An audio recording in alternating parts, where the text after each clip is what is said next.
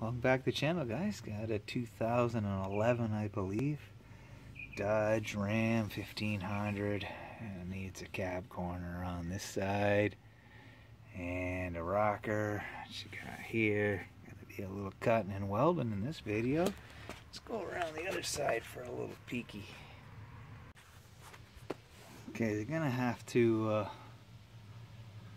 pull the Nerf bar here but uh, as you can see probably at least in for a cab corner if not a rocker on this side. Okay so kind of got this uh, cab corner mapped out. Uh, where this is gonna fit. Um, this is a reproduction uh, made in Taiwan. So hopefully it fits up pretty good. Okay, cut this off where I think I'm going to need it. Hope it's right. Started drilling out the spot welds. I got some tape lines on here. Uh, this is where it was fitting up and I'm going to offset flange in here somewhere. So this is going to be my cut line along here so that I can uh, so I can use a flange tool there it is in there flange that piece so that'll fit up in there like that so I can weld that seam across there hopefully alright so you can see things are starting to free up real good here. This didn't take much at all to really do to this point. Um, I really can't afford to lose too much of these marks though, so I'm gonna cut off a little shallow here up through, then come up and around and hopefully, oh sorry, but that through here, and then up and around this radius here to where my tape is, and I think the piece, uh, see how the piece fits in. Okay, I thought I'd share this with you. Uh, I got this clamped in here um, pretty much lined up here following my line around you can see hope you guys can see this is the body line on the vehicle here. This is the body line on the panel over patch panel over here. Same thing going on. Here's the body line. Shit. Here's the body line here. Patch panel body lines uh, over here. So everything's basically got to come around the corner in order to close up this gap. Um, this is where everything's supposed to meet up. This is where I measured to meet up was here in this uh, radius line here. So this is going to actually have to come um, forward. And then this is the situation uh, with uh, aftermarket panels. Alright, so but everything's lining up more or less. These gaps won't be hard to fill. Uh, to offset flange around here, then retrim the top of this to fit. You can see the body line doesn't quite match up with these uh, Taiwan panels, um, but it's pretty close. It's going to do the job. The door's fitting nice. I didn't get into the door area here. I'm going to be just outside of it, and I hope that's what happens all the way down the uh, rotted out rocker when I put that in. Okay, so I got everything all anchored in uh, with sheet metal screws temporarily. And you can see this is what I was talking about earlier. This isn't going to line up here in order for these body lines to line up here and here. So when I go to weld this in, I'm going to start here and work my way that way around, close up this little gap right here as I come around. You can see how it's flexible, come around that corner just a little bit just to push that over just a tiny bit and then yeah it's a bit of a gap here but it'll all pull and push in it'll be fine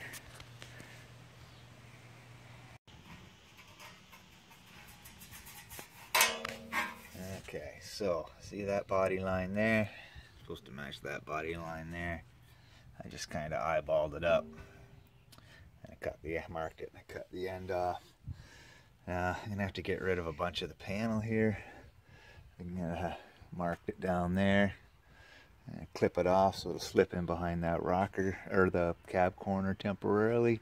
Then get rid of all this other crap that's rotted out. Alright, got this clamped in. A couple of vice grips about where I want it. I shot a screw in there to hold it up in place. Plus that'll also work as a temporary uh, marker for the numerous times I'm going to to take this on and off. Uh, I took two screws out of the back here so I can open up this a little bit. I did throw a tack on there temporarily. And you can see this comes down around this corner. So right about here, I'm gonna have to take this uh, this fold line out uh, so I can slip this uh, slip this in behind the rocker, or I should say behind the cab corner, and then I can uh, mark it and and cut it off. And I'll probably uh, I'll probably do an offset uh, an offset flange on this portion here that's kind of flat. Oops, sorry. Offset flange along this portion It's kind of flat here along this stretch on this piece. And then butt weld down around underneath. It's kind of what I got in mind.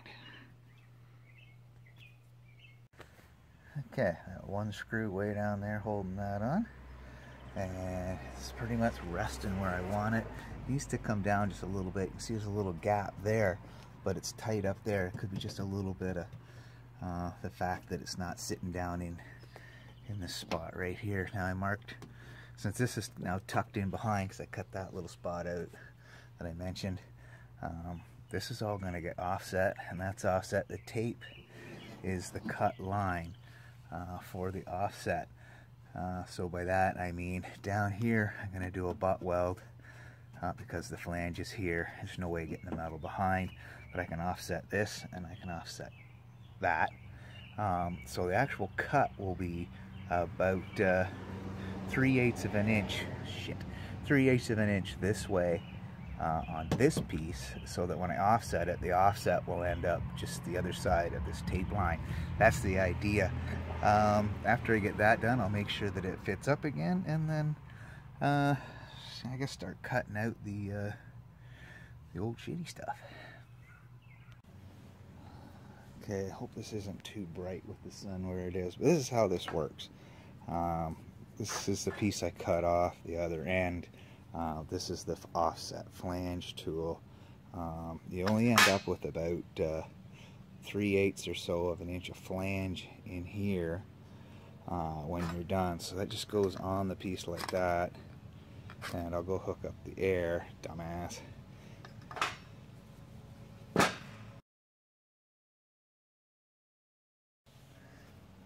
Okay, hope this isn't too bright. Just going to do a little demonstration here of this. Uh, this is the piece I cut off the other end. And this is the offset flange tool I'm using. Um, this little portion here is the part that's going to be the offset.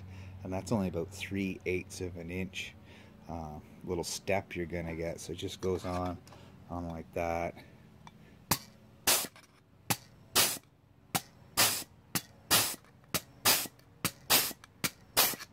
So, and then you get that little that little emboss. So I've got that much to work with. So let me go over here, on the other end of the guy here. So there's my cut line, and I want that to be on there like that, so you can see. Um, I'm actually going to be cutting uh, over here um, so that I can offset that. And it'll be okay to leave that a little bit shallow since it's going to go underneath um, and then offset it so I'm actually just inside the uh, inside the tape line.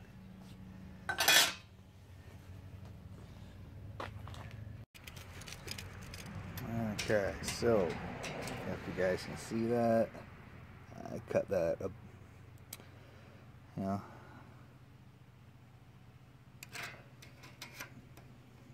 just shy of 3 eighths all the way along so that uh, offset will end up there. I'm going to slice this.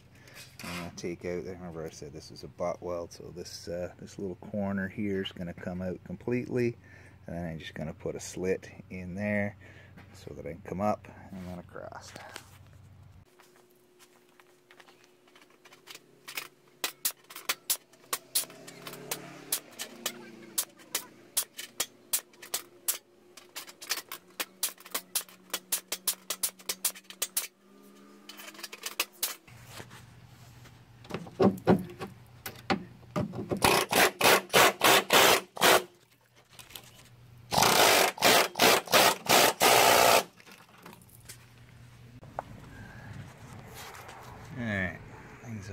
Busted loose. I'm just gonna take the cut off wheel and just kind of cut along here, just just under the lip, kind of long, and then fit the panel back up and see how things are. Okay, here's where I'm at. Punched all these holes in the lip, cleaned up the lip on the inside, adjusted the front corner, hooked it up in the back, got some tack welds on here, still got it clamped up, some tacks in here.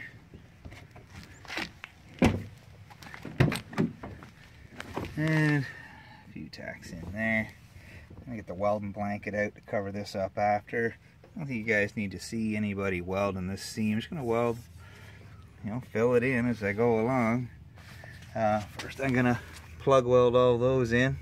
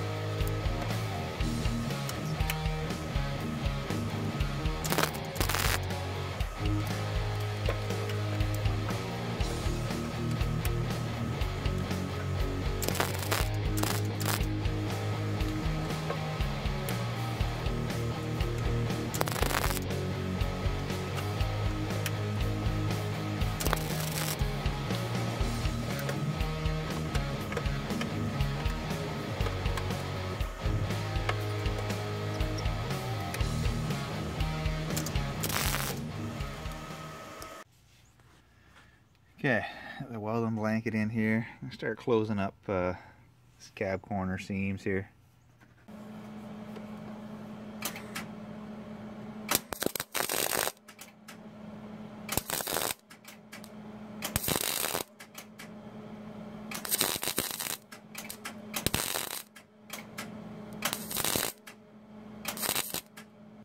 Alright, if I didn't mention it before, I'm just doing the fit, weld, and grind.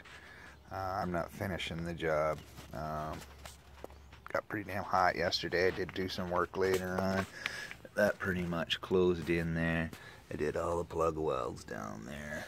A bunch up at the front up there. Uh, this morning I'm going to carry on. I'm going to hit this with the crack with a wire wheel uh, first and then tap this flange down just to get a little bit tighter and then continue to would go from spot to spot putting a little bit of weld on so I get it all sealed up. Okay, so you can see all these tacks about quarter inch apart along here. Just carry along till I uh, get the rest of it kind of looks like that and then start grinding some of that out. Okay, working uh, in behind the door here. Uh, there's not enough room for the uh, flap disc grinder uh, nor enough room to really get back in there. Um, with the Roloc I uh, opted to go with the uh, knurler bit on the die grinder. Back in there get that all cleaned up and I'll come in from the other side to catch these as well. Okay everything's all all ground out. I know the doors are closed. Uh, the other side panels showed up uh, I'm gonna I'm gonna hit all the seams with some of this ABC Glass Plus uh, just to seal it up, and then throw a some aerosol etch on there. Uh, it's gonna be several days before uh, get them other panels in. I don't want this to start rusting on the body guy because, like I said, I'm not finishing the job. All right, gave my welded seams uh, where needed here. Just a coat of that ABC I mentioned earlier. Uh, it's all hardened up, cracks are all filled, and all the way along. Um, this won't take much to finish up. You could probably just hit this with a with a Roloc and flatten it down. It'd be just about damn near paint paint ready. Now you can see this is all bare metal, so I'm gonna just gonna cover it up a little bit, and I'll just uh, hit it with some of this self-etch primer, Rust-Oleum, uh, just to protect it till we get the other side done, and can go back to the body guy. So I'll cut you back on when uh, I get that done. Alright, there you have it guys. All done as far as I'm doing it. Uh, rockers in, cab corners in, seams are filled with the uh, fiberglass resin. Make sure that they're uh, nice and tight. Alright guys, one last look before I drive this thing up the street. Those are the uh, cab corners and rockers. Uh, this is the driver's side, just finished up. And we'll go around the other side, just have another quick peek. And here is the pass side that I did first. I think there's not going to be too much work needs done to that. And I'll be ready for paint. Thanks for watching guys. See you in the next one.